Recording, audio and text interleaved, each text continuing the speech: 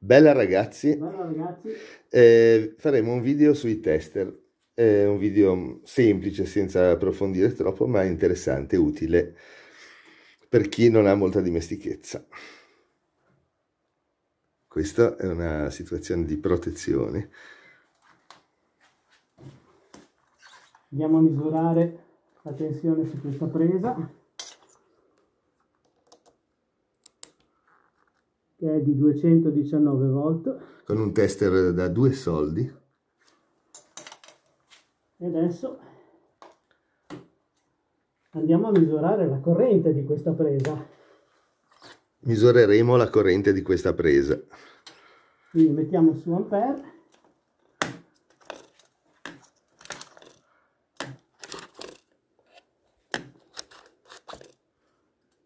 Eh, 10 ampere Con i guanti non si lavora molto bene e qua è collegato sugli ampere, comune e ampere.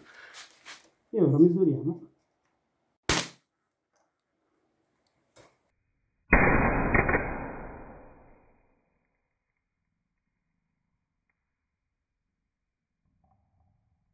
Cosa sarà successo? È un bel guaio. Bisogna aprire questo tester. Tanto vediamo la presa. E adesso apriamo il test È e vediamo nera. cosa è successo. Torniamo ai tester dopo l'esperienza di prima. Allora, qua abbiamo una scaletta di tester dal più costoso al meno costoso. Questo qua è veramente quello come l'altro che avevamo trovato direttamente negli ampere. E allora, noi abbiamo ad esempio questo. Abbiamo un comune, qua la misura di tensione, resistenza, tutte quelle cose di tantissime cose, comunque tensione e resistenza, eh, per chi non ha esperienza poi su condensatori, frequenze e altro. Qua abbiamo la misura in milliampere, spostando questo qua, qua, e qua la misura in ampere fino a 10 ampere, spostando questo qua, questo è sempre il comune, resta dov'è. Torniamo qua. Allora, prima avevamo messo su quel tester la- collegato sugli ampere, 10 ampere, ed è successo quel che è successo. Ora misuriamo la tensione. Abbiamo messo su volt alternati, accendiamo. Questo ha un suo firmware, deve caricare il programma. Ecco, possiamo andare a toccare. Abbiamo una tensione piuttosto bassa e un po' ballerina. Aspettate, no, ecco, forse, perché si sono 214 volt circa. Eh, scolleghiamo un attimo la corrente qua.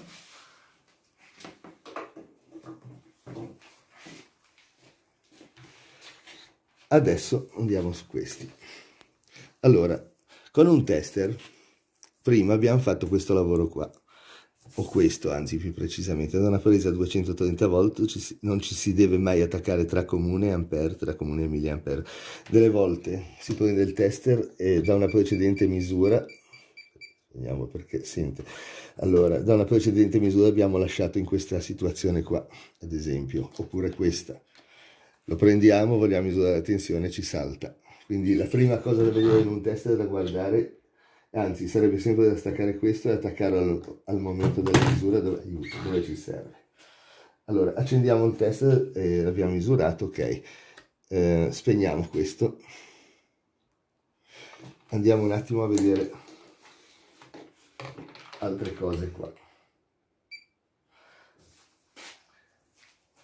Allora, quando si va a misurare una batteria, non si deve mai fare questo. Quando si va a misurare su una presa, non si deve fa- mai fare questo. Non si deve misurare la corrente di una batteria o di una presa, perché di corrente ne hanno tantissima, ne possono fornire tantissima, tanto da esplodere il tester, ma possiamo solo misurare la tensione, cioè mettere da comune volt ohm, quello di sinistra. Possiamo misurare anche la presa mettendo su volt alternati, mentre prima su volt continui. Altra cosa, qua abbiamo la possibilità di misurare oltre le batterie prese anche alimentatori a tensione regolabile. Su un alimentatore a tensione regolabile non dobbiamo mai, come per il discorso della presa della batteria, collegarci sugli ampere direttamente sull'alimentatore, ma solo sui volt. Mentre con un alimentatore a tensione e corrente regolabili si possono fare o una o l'altra misura, cioè settare i volt col tester se sia un tester di precisione e poi regolare gli ampere collegando su ampere e regolando la corrente perché abbiamo due regolazioni su un alimentatore a corrente regolabile. Come dicevamo, qua abbiamo un alimentatore, bellissimo, poi lo troverete se andate nella descrizione del video, mettiamo il link, è poco costoso e abbastanza preciso. Abbiamo la regolazione grossolana della corrente, fine della corrente, grossolana della tensione, fine della tensione. Lui adesso sta segnando 0 A perché abbiamo collegato il tester eh, solamente per misurare la tensione, non assorbe quasi corrente quindi non, non si legge. Qua 7-8 chiaramente questo strumento è uno strumento che non va nel pelo dell'uovo a cercare i millesimi di volt come questo però vi dà un'indicazione. Se vi serve regolare la tensione precisa usate un tester oltre al suo strumento ma è già sufficiente questo. Se adesso noi variamo la tensione votiamo a 11 11,67 infatti è qua poi la abbassiamo. Ma adesso facciamo un'altra cosa. Spostiamo togliamo questo spostiamo in corrente mettiamo su 10 ampere è limitato a 3 a quasi eh, 3,6 ampere 3,57 se adesso noi variamo questo della regolazione fine vedete che sale ad agio se noi regoliamo questo della regolazione grossolana vedete che salgono tutte e due. Sono bellissimi questi alimentatori perché potete limitare la corrente che possono dare quindi adesso stacchiamo e passiamo a un'altra cosa allora abbiamo fatto la misura della tensione della corrente corretta non direttamente su una fonte quindi adesso passiamo alla misura della resistenza Quindi misuriamo una resistenza in ohm. Allora, dove sono gli ohm? Qua. Accendiamo, possiamo usare, dobbiamo mettere chiaramente di nuovo il comune e quello dei volt ohm, eccetera, eccetera. Adesso prendo una resistenza. Questa è la resistenza da un kilo ohm.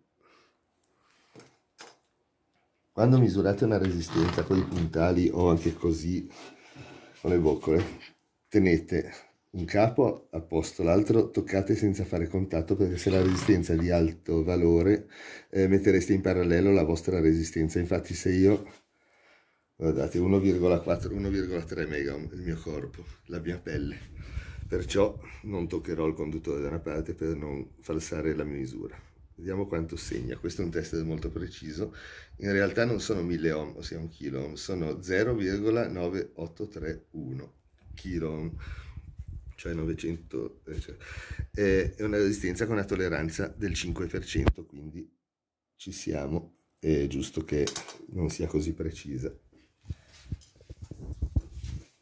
abbiamo fatto questa misura mettendo su ohm Adesso faremo un'altra misura della resistenza con un altro metodo e interverrà la legge di Ohm. La resistenza che vogliamo misurare sarà uguale alla tensione che leggeremo ai capi della resistenza V, ai capi, eh, diviso la corrente che passerà attraverso la resistenza, il tutto fornito da una batteria da 12 volt.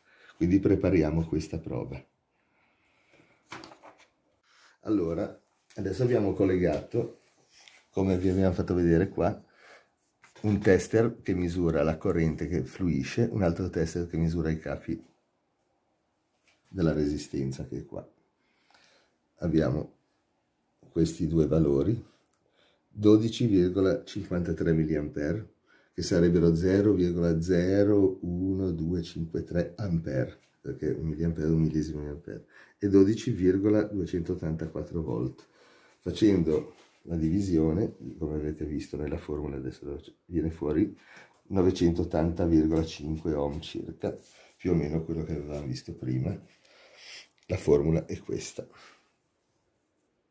La resistenza è uguale alla tensione, i volt al capo della resistenza, diviso la corrente, cioè questo tester, quello che misura questo tester, diviso quello che misura questo tester. Adesso facciamo un'altra prova. Allora, stavolta al posto della resistenza abbiamo messo una lampadina. Come vedete la corrente va diretta, anche prima potevamo farlo vedere. Noi stacchiamo la corrente diretta e ci attacchiamo al tester. Sì, ampere. Leggiamo 11,386 volt sta scendendo perché la batteria è molto scarica, è stata caricata l'ultima volta nel 2019. E eh, leggiamo 1,71 1,71 ampere. Facciamo il conto, come abbiamo fatto prima per misurare la resistenza di quella, di quella lampadina. Allora, la lampadina, allora abbiamo 11,312 diviso 1,08 e ci dà 10,47 ohm. Abbiamo una resistenza, ricordatevi, 10,47 ohm questa lampadina. Ora c'è un'altra cosa da fare. Se noi moltiplichiamo invece la tensione in volt per gli ampere, allora 11.295 per 1,7 7, come sta dando adesso, ecco abbiamo 19,2 watt. Quindi moltiplicando la tensione per la, per la corrente abbiamo la potenza della lampadina. Infatti è una lampadina da frecce da 21 watt. Naturalmente segna meno perché la batteria è piuttosto scarica, siamo già a 11 volt, è scesa parecchio. Devo ricaricarla. Ora facciamo un'altra cosa, stacchiamo lasciamo un attimo raffreddare la lampadina e andiamo a misurare direttamente la resistenza della lampadina. Che avete visto prima, ve lo siete ricordati il valore che aveva? Allora mettiamo su ohm, andiamo a misurare la resistenza della lampadina e ci dà 0,91 ohm, una cosa piccolissima un valore piccolissimo, prima era molto più alto come misura corrente tensione e in effetti adesso la resistenza è diminuita enormemente perché si è raffreddato il filamento. I metalli scaldandosi aumentano la loro resistività. Arrivare a, 3000, a 2000 gradi e oltre eh, il cambio della resistività è enorme. In una lampadina a incandescenza da, da 220 volt 100 watt, da fredda uh, ad accesa, da accesa la resistenza aumenta di ben 14,5 volte, che è un, una quantità notevole. Quindi non si possono usare lampadine come resistenze per fare delle misure perché secondo la tensione, quindi la, la, la temperatura del filamento cambia tantissimo. Si possono usare in altri casi. In certi casi possono dare ad esempio uno spunto a un qualcosa messo in serie, un elettromagnete che lui attacca, la lampadina poi si scalda e diminuisce la corrente, tanto l'elettromagnete ha già, attaccato, ha già avuto la forza di attaccare il suo pezzo di, di acciaio, che, di ferro che doveva attaccare e resta attaccato con minor corrente, si risparmia e tanti altri usi. Ora passiamo a... Prima abbiamo fatto... Questa è la resistenza, questa è sor una sorgente e poi abbiamo il mare che sarebbe la batteria, un dislivello. Abbiamo messo l'amperometro in serie che un, come un contatore d'acqua la resistenza è questa, che è un tubo che si stringe, e abbiamo messo un manometro, manometro differenziale che misura la differenza di pressione tra monte e valle, quindi per sapere quant'è la resistenza fatto, usato, si può usare la legge di Ohm. La corrente equivale alla portata, la tensione equivale alla pressione, la differenza di pressione. Adesso passiamo a un altro tipo di misura. Questo è un volmetro molto vecchio, all'epoca in cui non esistevano ancora i test dei multimetri, quindi questo qua aveva solo portate di tensione, poi c'erano amperometri con portate di corrente. Questo invece è uno dei primi tester che ho avuto, il primo tester che ho avuto in vita mia. Ero piuttosto piccolo, me l'ha regalato mio padre, perché lui aveva un ICE. E poi questo invece l'ho trovato, è ancora più antico. Adesso eh, non so, eh, nel frattempo che eh, continuiamo il video, stiamo caricando, non so se avete mai visto il video numero 296, come caricare una batteria, stiamo caricando a corrente a tensione costante e corrente limitata questo accumulatore che è tanto che ne aveva bisogno. Allora, eh, questi sono condensatori eh, di motori, questo qua di una vecchia vecchia vecchia lavatrice, questo qua di un'autoclave mi sembra, che tra l'altro non riusciva più a avviarsi. Eh, l'ho tenuto, ha una particolarità, è un condensatore di poliestere, superfici metallizzate, questo condensatore è da 25 microfarad, come mai non riusciva a far avviare bene l'autoclave? Noi lo misuriamo col test, molti test danno questa funzione. Mi segna 17,5 microfarad. Una parte della metallizzazione si è corrotta, si è bruciata e ha diminuito la sua capacità e non riusciva più a dare forza al motore.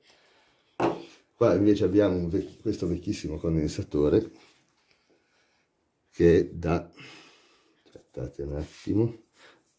12 microfarad 12,5 12, 12 microfarad più 0 eh, meno 0 più 10% può essere quindi da 12,5 e più microfarad lo misuriamo. Tra l'altro scrolla dentro.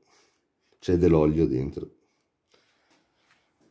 13,7 quindi siamo nel più 10% rispetto a 12,5 è ancora perfetto nonostante l'età quindi se avete un problema e non sapete se un condensatore di un motore dell'avviamento di un motore funziona perché non riesce a partire o ha problemi dovete usare quella funzione dove c'è il simbolo del condensatore anche in altri tester c'è ad esempio quello lì, qua insieme ad altri simboli con il pulsante funzioni si trova, si individua la funzione di quelle quattro. Perché non serve vedere solo se in cortocircuito, non basta, bisogna vedere se effettivamente questo non ce l'ha, eh, se effettivamente eh, eh, il condensatore ha la sua capacità esatta. Adesso passiamo ad altre misure. Un'altra misura interessante è questa. Questi sono diodi. Può capitare a volte di vedere se sono sani o se è cancellata la bandina. Questa qua che indica il senso, la, polari la polarità, per vedere qual è il senso giusto.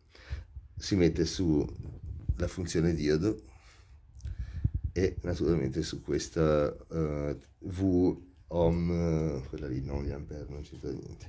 Allora un diodo questo è il positivo, un diodo fa passare la, sua corrente, la corrente che gli si manda solo in un senso. Allora, se noi mettiamo sul catodo il positivo dove c'è la bandina e il catodo e sull'anodo il negativo non succede un bel niente. Se invece lo invertiamo, misuriamo una tensione 0,48 volt questo qua lo sto tenendo caldo, poi vi facciamo vedere una cosa. Ecco qua, un, un classico 1N4007. Questo qua è più freddo, 0,57 volt. Guardate come scende. La tensione in un diodo al silicio scende di 2,5 mV per grado. Quindi i famosi 0,7 volt sono a temperatura più bassa e poi dipende anche dalla corrente perché in serie alla giunzione c'è anche una resistività della corrente con cui si fa la misura. Poi questi qua sono diodi, quelli da alternatore d'auto, lo proviamo anche lui, 0,49, lo mettiamo nell'altro senso, non conduce, è buono. Questo invece è un diodo al germanio, un antico diodo al germanio, che è un OA81. Allora, se noi mettiamo, eh, colleghiamo inversamente, non conduce, colleghiamo direttamente, Notiamo una tensione bassissima e non è caldo, questo non l'ho scaldato, perché il germanio ha una tensione sulla giunzione molto più bassa del silicio. Adesso cosa abbiamo? Queste sono le due misure che abbiamo fatto adesso, in un senso, se polarizzato inversamente non dà nulla, nell'altro senso dà delle tensioni che variano a seconda della temperatura e del tipo di diodo però poi cosa abbiamo? Esistono i transistor. Questo è un transistor. Anzi, prendiamo questo che è un transistor NPN. Per controllare se un transistor è buono, dobbiamo fare questa cosa. Un transistor, poi il PNP è la stessa cosa, basta invertire i fili. Un NPN è questo, i collegamenti sono questi, ed è formato da due giunzioni che sono come due diodi. Perciò se noi colleghiamo il più qua non dovrebbe passare alla base, infatti non segna niente. Se noi colleghiamo, se noi colleghiamo invece, lasciamo sempre sulla base il più all'emettitore, cioè qua, Queste, questi coccodrilli sono un po' fanno un po' cagare, non passa niente.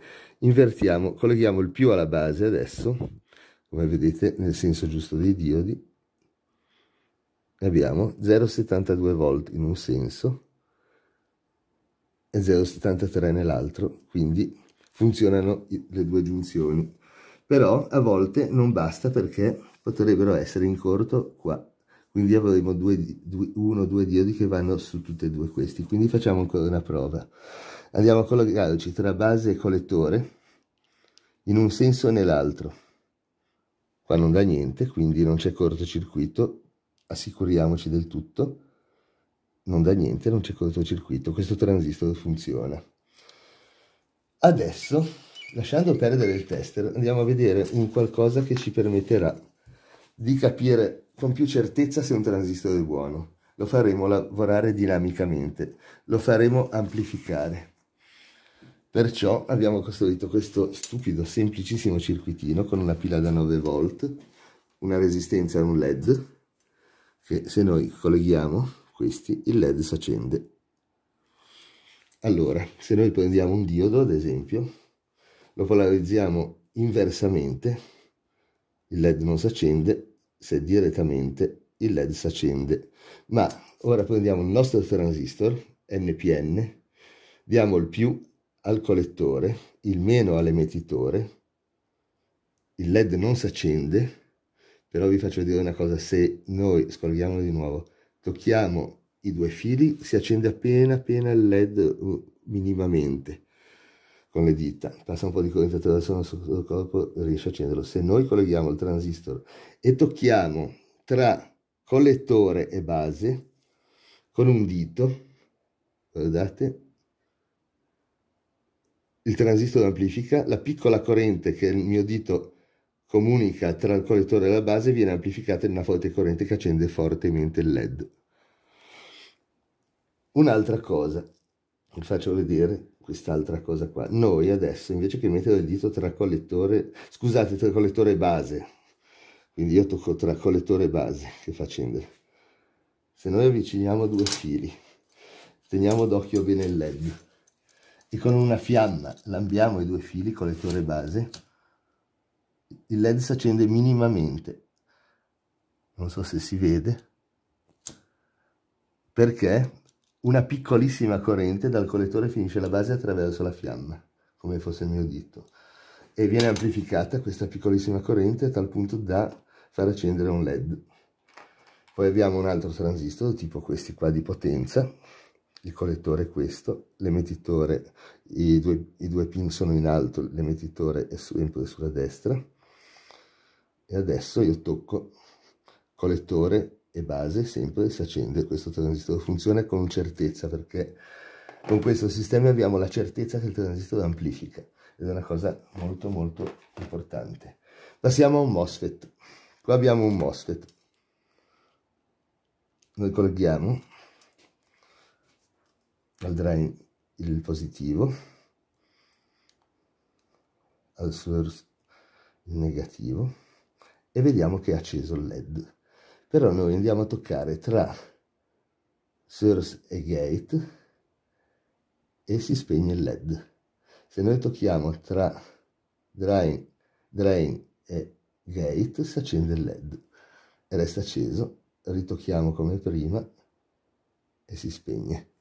Questo perché eh, non c'è bisogno di un passaggio di corrente sul gate di un MOSFET come può avvenire in un transistore per far amplificare, ha solo bisogno di una polarizzazione di tensione. Quando io tocco dal più il gate, questa base, questa, mm, questo gate che non consuma quasi corrente resta carico e continua a far passare corrente tra il drain e il source.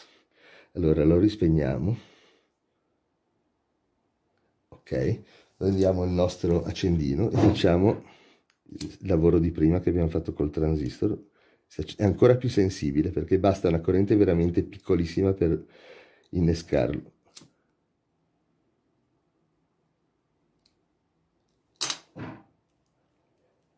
possiamo anche va bene così c'è pieno di roba da provare con questo punto penso che ci sono altre misure che si possono fare con un tester anche la frequenza e tante altre questi tester poi hanno tantissime funzioni. E c'è ancora una misura da fare la pinza amperometrica. Questa qua va collegata al tester Adesso vi facciamo vedere, prepariamo un circuito per farvi vedere la misura. Esistono anche pinze amperometriche, poi vedrete anche nella descrizione, magari mettiamo un link, che hanno direttamente il display senza avere il tester e si può fare la misura. Adesso. Allora, la pinza amperometrica serve per misurare corre la corrente in cavi, barre, qualsiasi cosa, senza tagliare il filo perché eh, con un amperometro bisogna interrompere il filo e collegarsi sull'amperometro, come abbiamo fatto vedere prima. Questa qua funziona sia in continua che in alternata, basta far passare dentro il filo e vedete che misura una corrente più o meno che la stessa dell'alimentatore. Se noi spostiamo in millivolt alternati, ok, Qua abbiamo collegato alla corrente que quella stufetta elettrica che vedete là. Se fossimo in un impianto elettrico, senza dover staccare fili, nel caso di prima in un impianto di un'auto, ad esempio per vedere se esempio carica il generatore, si può andare sul cavo del generatore e vedere quanta corrente sta dando il generatore alla batteria o vedere quanto consuma l'impianto delle luci, quanta corrente passa o se ci sono dispersioni che passa un po' di corrente. Invece in alternata basta fare così e misuriamo 2,8 A perché basta. Adesso io attacco l'altro tasto, allora stacco un tasto, 1,7, 1,7, attacco quello di prima, stacco l'altro da due potenze diverse. 2,8. 2,8, tutti e due i tasti. Questa è una stufa molto molto poco potente e anzi forse c'è una delle due resistenze che non va perché ultimamente scaldava poco. Ecco qua eh, se vi interessa qualcosa mettiamo dei link di Amazon in descrizione del video. Eh, se volete vedere avete bisogno di un test di qualcosa potete andare lì. Vi consigliamo di iscrivervi ai nostri video al nostro canale youtube perché non pubblichiamo i video con una certa costanza per cui in questo modo potrete rimanere sempre aggiornati sui, sulle novità e sui nostri nuovi video qua c'è un azzeramento. Serve per regolare la bisogna portare a zero. Adesso sono andato oltre. Ecco era sull'altra portata ecco. Mi sono dimenticato di dire che su molte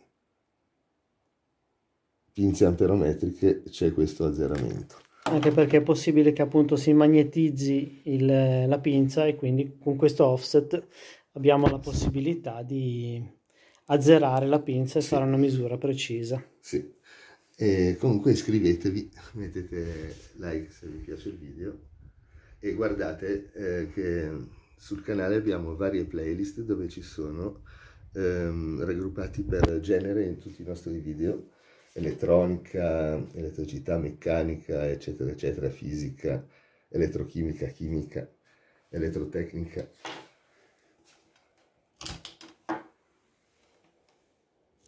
Una bella botta. Vabbè, vi salutiamo. Bella ragazzi. Bella ragazzi.